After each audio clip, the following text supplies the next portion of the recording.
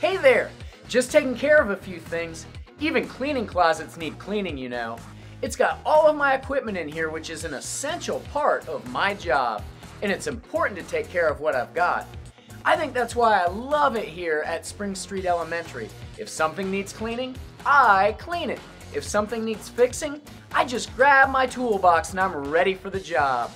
If I didn't take care of what I had, I wouldn't have the right tools for the trade. My hammer would be rusty, my mop would be dirty. Talk about a mess! But when I take care of my things, I am ready for anything. Speaking of taking care of what you've got, it's time to empty out the lost and found. Wow, there are some pretty cool things in here.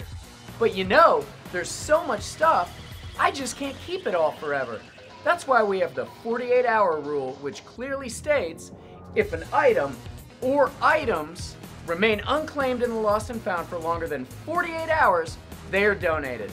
I know, I know it's a harsh rule, but I have no other choice. If I kept everything that has ever been in the lost and found, I wouldn't be able to even fit a broom in this closet.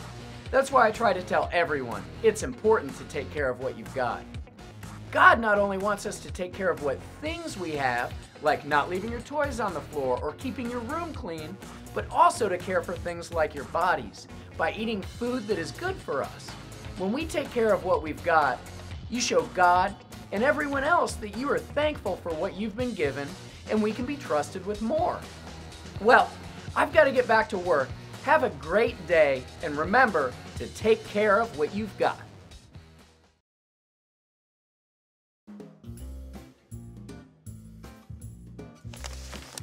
One day, Jesus told a story to his 12 friends, the disciples. He wanted them to know the importance of being a good steward. A steward is someone who takes care of what belongs to someone else. Jesus told them this story. There once was a rich man who heard that the worker in charge of his business was wasting his money. So, the rich man called the worker and said, What's this I hear about you?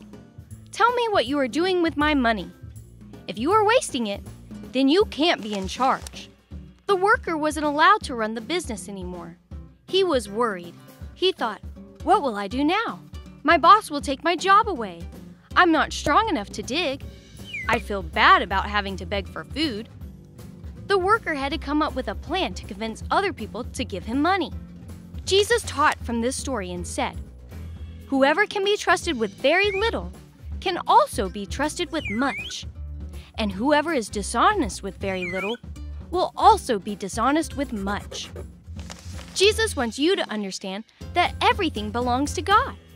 He wants you to take care of the money He gives you, but there's more. God gives you time, a talent, and the world He created.